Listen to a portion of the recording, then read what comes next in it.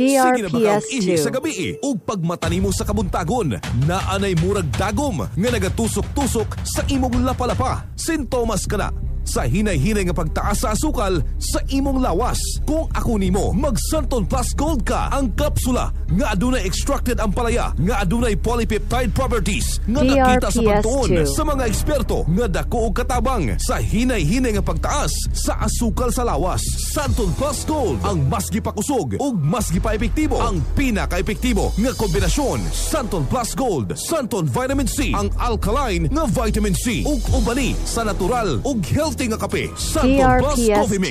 Mapalit sa mga butika sa inyong mga lugar.